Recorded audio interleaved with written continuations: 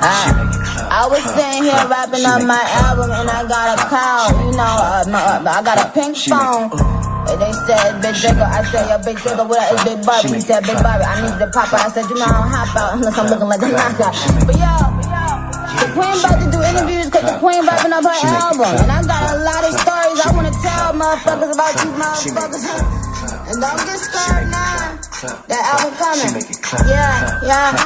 Big Draco, shoot on these niggas. It's over for you, nigga. Take a bow. Wow. Big Draco hit him with the 40. cal. Why a nigga tryna take Big Draco style? Give a nigga inch, now they wanna take him out. We ain't talk fat, with a pennant and a foul. Bitches in my sons, that's why I be like chat, chat, chat, chat, chat, chat, chat. Big Draco really fly, he know how to keep his balance. We was on a jet, not the Bow Wow challenge. Challenge, challenge, challenge, challenge. We was on a jet, not the Bow Wow challenge.